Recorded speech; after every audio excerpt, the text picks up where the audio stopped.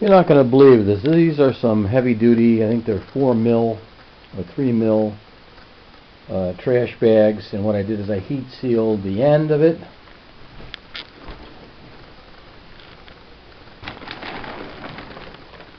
With an iron and some uh, aluminum, aluminum foil. And then I heat sealed it all together.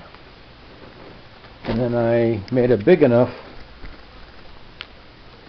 end here so you can stick some um, juice cans, grapefruit, big grapefruit, ju uh, grapefruit juice cans in there.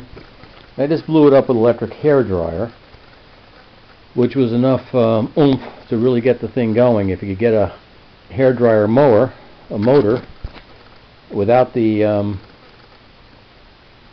without the heating core, and figure out what kind of voltage you need, you could uh, make this thing work. Let me just fire this up for a few seconds. It's pretty much inflated. Hold on. Here. Spin this over here. And let's see what we got here, I think. There you go. Inflating up.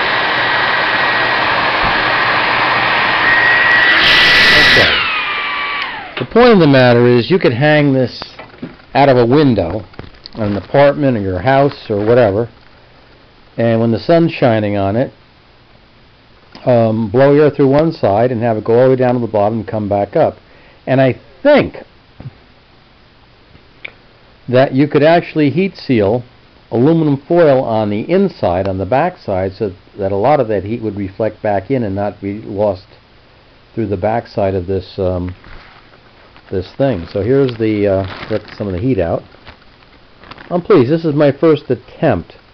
What I would do in the future is um, connect all the tubes together and you have to do this on a, a board, a real long board and then you got to scooch the stuff up at a time. You probably, um, so you're limited as to how long you can make these things.